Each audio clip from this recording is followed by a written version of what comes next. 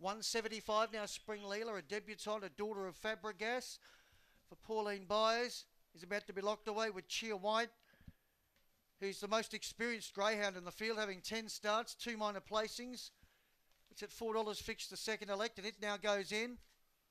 The next pair being loaded, Alonzi de Paris, the outsider, along with Bogey Not Guilty, as our radio tab listeners join us. Thank you, Mike Connors. And Spring Leela's at its shortest quote tab fixed at $1.70. They're all locked and loaded now. The green light's on its way. Spring Leela 170 from box one and away, and she began well. Spring Leela, Cheer White also was fast out, goes forward and crosses to the lead. It's Cheer White dashing three clear from Spring Leela. Third was Alonzi to Paris, a gap of four lengths to Rosju Barbossa. Last of all, Bogey Not Guilty, eight lengths off the leader, which is high rolling out in front. It's all Cheer White on the bend, leads by five lengths. Alonzi to Paris runs to second, passing Spring Leela, who can't offer, but it's all Cheer White. Dashes clear, wins by five. Alonzi to Paris, the outsider, gets up for second. Spring Leela was third. Fourth was Rosju Barbossa. Last of the five, Bogey not guilty. And the time was in 25 and 50.